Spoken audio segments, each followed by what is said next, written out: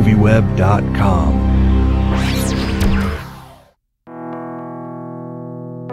When I was much younger, I thought that I would be married, I'd have kids, you know, by the time I was 30. You need to go on a date. Duty dating for practice. That is the saddest thing I think I've ever heard. I think that you're a really good actor. I'm so glad I met you. I think you're totally refreshing. What is wrong with me? If there's nothing wrong with you, Nora, you just go out with the wrong people. I could fix you up. No. Pretty funny that our moms set us up. You don't know the irony behind it. You have had some very nice boyfriends. But that was college. Have any of you ever done anything as crazy or as desperate as flying to Paris, France to meet somebody or connect? Could be worse. Oh my god, yeah, I think that's fun to fly to go meet somebody. That's like, I don't know. Have, have you ever done something like that? Um, no, I just write about it. uh, no, I've never done anything that crazy. Although it wouldn't be hard to get me on a plane to go somewhere kind of fun like that. But when you're looking at this character as an outsider, do you feel that it is a desperate act on her part? She's in a desperate place, that's for sure. Um, but the reason why she goes to Paris is it's a dialogue she's having with herself. She doesn't have her own life. She feels like her life has been all about her work. So this kind of gesture gesture is more about empowering herself and getting out of town and she's never even been out of the country. So it's like these, you know, this guy came into her life to kind of help her do that and we don't know if, if they're going to end up together or not. Do you think she's aware of her unapproachability sometimes? Yes. Her own Is she aware? Yeah.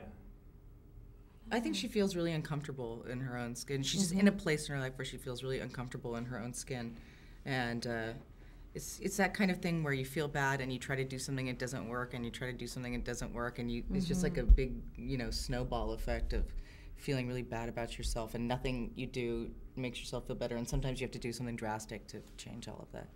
Okay, well, you have a huge fan base, especially on the internet. And I'm wondering, did you make this film just to frustrate the lonely guys out there who are going to watch this and go, I could be me?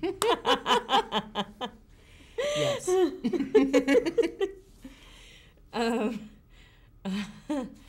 um, yes, I did. That's why I made the movie. Um, uh, uh, where's your question?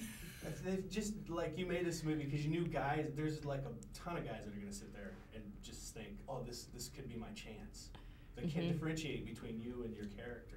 You didn't even Oh, think- that's not Yeah. true. You didn't even think of the perks. um, yeah. Gosh, well, we'll see, won't we? See what happens. You never know. Well, I'm, I'm wondering kind of a little bit. Did you write this like that? She kind of thrives on being lonely a little bit. Like she actually likes it, but she doesn't know she likes it. No, I don't think so. I think it's um, I think she's probably been happier in her life, and you know, sometimes you go through, you know, especially when you get into your mid thirties and you're trying, you know, you realize for the first time in your life that you're an adult and you have to do all these things as an adult, and no one's going to be there to kind of pick up the pieces.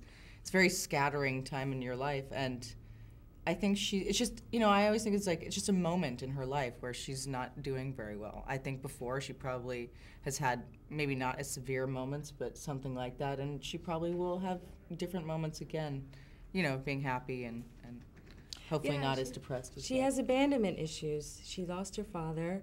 She's um, terrified that if she loves someone and or if someone loves her, that she'll lose them as well. And it's um, some people in relationships, you know, and, and in love relationships, there's all sorts of we don't know where the courage comes from, but there are all sorts of obstacles that we overcome those like wounds. So she's wounded in a way that, that everyone kind of sees and looks at. I don't think she enjoys her loneliness, but I think that loneliness is not a bad thing to overcome and, and to kind of go through to get out the other side. I think that's part of um, um, becoming an adult, you know. And that's what I. That's one of the the major things I like about the movie because I feel like we don't see that enough in. Uh, it's something everyone goes through, but it's something that's we don't really see being executed in, in films and scenes. So, and it's funny. I mean, it's not,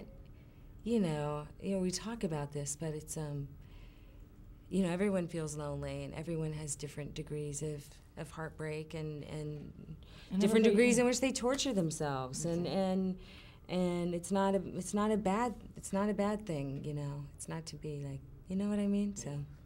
But in, in the party at the beginning of the movie, we see uh, Drea de Matteo's fiance double fisting. Is that your like not so subtle hint that that's what it takes to make it through five years of marriage? Um, no, that actually drives me crazy that he does that in the movie. But you know, I didn't, you know, he, he he really had an idea of what he wanted to do, and which was to take two glasses and do that for himself. So, I think he, I think really what he was doing was he was really drinking wine, but he had a glass of champagne for the toast. So I don't think he was really double fisting. I think he's, you know, and he's another character that's in denial about what's happening in his relationship, but doesn't want to feel the pain. So he kind of uh, glosses over everything, and she's and you know Dre's character is is not happy, and she doesn't want to gloss over everything. So they're at like a crossroads too.